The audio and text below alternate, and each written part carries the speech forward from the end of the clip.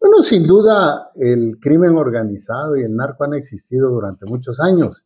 ¿Cuál es la diferencia con el gobierno de López Obrador? Es que hoy gobiernan ellos.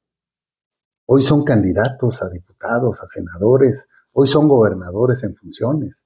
Hoy el propio presidente es evidente que tiene un pacto con el crimen organizado. Esa es la gran diferencia. Se metieron al gobierno. Eso es lo que hizo López Obrador. Nadie niega que había.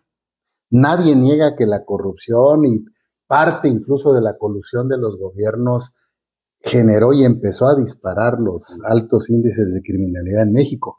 Pero con López Obrador se rebasaron todas las expectativas. Aquí sí hay pruebas de la narcopolítica, sí hay pruebas de los narcogobiernos, sí hay pruebas de la tolerancia, de la colusión de López Obrador con estos grupos.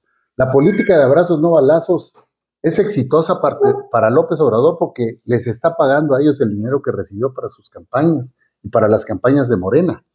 Pero es un fracaso para la población porque estamos viviendo con una alta criminalidad, con violencia y con un baño de sangre prácticamente en todos los municipios del país.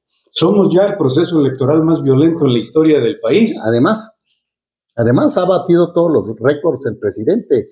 Es el gobierno más asesino de toda la historia no solo por los más de 200 mil muertos que va a entregar por la política de abrazos no balazos, casi un millón de muertos por la irresponsabilidad en el combate a la pandemia, falta de medicinas para los niños con cáncer, para las madres con cáncer. ¿sí? O sea, es criminal la actuación del gobierno de la República. Es el único gobierno que ha destruido el sistema de salud dos veces. Destruyó el Seguro Popular y también destruyó el INSABI.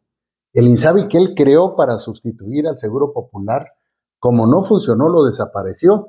Pero no solo desapareció el INSABI, desapareció los miles de millones de pesos que tenía ese programa, que nadie sabe dónde quedaron.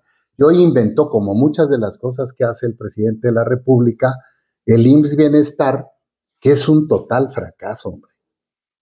Este sistema de salud hay que recuperarlo, hacerlo aceptable a partir del triunfo de Xochitl Gálvez el próximo 2 de junio. Y a eso se ha comprometido Xochitl también, y por eso creo, creo y estoy apoyándola para, en este trayecto, en este transcurso de seis semanas eh, rumbo a las elecciones federales.